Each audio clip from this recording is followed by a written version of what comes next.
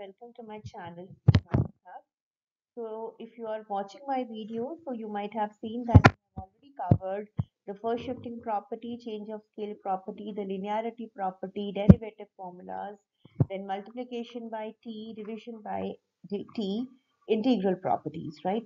So let us come to typical problems of Laplace transform. So let us start with the first problem. So we need to evaluate 0 to infinity t e raised to power minus 3t sine t dt. So here you can see there is no Laplace written over here, right? So you need to calculate the integral from 0 to infinity. If you remember day 1 of my lecture on Laplace, we did that. How did we define Laplace of any function ft? Laplace of any function ft is nothing but 0 to infinity integral ft e raised to power minus st dt. Right? This is how we defined an integral term. So you can see that we are given such type of integral to perform. So now when I compare it with 0 to infinity with the given integral, t e raised to power minus 3t sine t dt. So if I compare these two integrals, can you tell me what is my function ft? My function ft is t into sine t. And when I compare the exponential terms, can you tell me what is s? s is equal to 3. So that means if this integral is same as Laplace of ft, this integral will be same as Laplace of t into sine t. Isn't it? So how to calculate Laplace of t into sine t? We'll start with Laplace of sine t first. Laplace of sine t is 1 by s square plus 1. When we multiply it with t into sine t, what will I get? Multiplication means it will become a derivative here. So it is minus 1 raised to power 1 first derivative of s square plus 1 raised to power minus 1. So this is minus this sign. Then this will be again a minus sign. s square plus 1 raised to power minus 2 multiplied by 2s. So this finally becomes 2s upon s square plus 1 whole square right?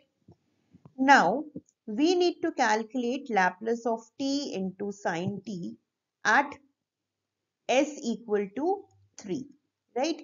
So, let us put s equal to 3 here. So, we get 2 into 3, 3 square plus 1 whole square. So, this is 6 upon 9 plus 1, 10, 10 square is 100.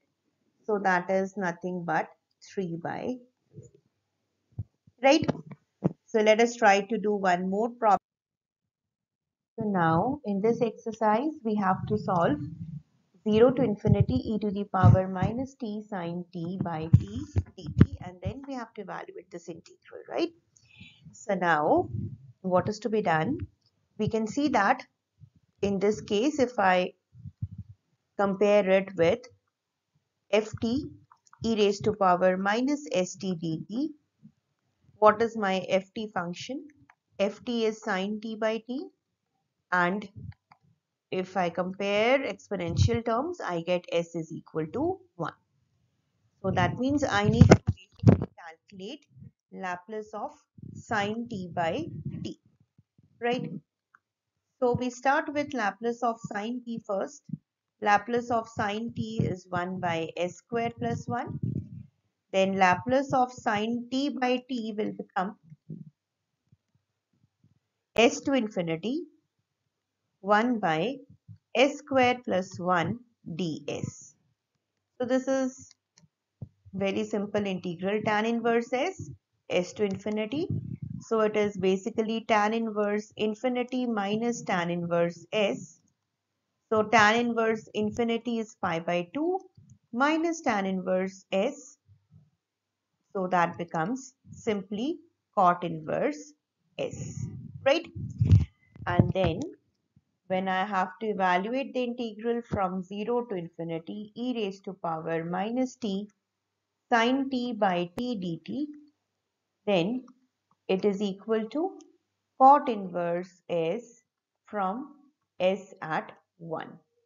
So this is cot inverse of 1 which is pi by 4. Now to solve the second integral, it's a direct implication from here. So in this case, you can see that s is equal to 0. There is no exponential term, so s is equal to 0. So from this step, we can directly solve it. We will have pi by 2 minus tan inverse 0. So tan inverse 0 is 0, so we will simply get pi by 2. That means 0 to infinity sine t by t dt is equal to pi by right? So that's all. I hope you understood this question. So if you like the video do hit the like button. And those of you who have not subscribed my channel do subscribe my channel to get the latest updated video. Believe in yourself and you will be able to succeed. Thank you so much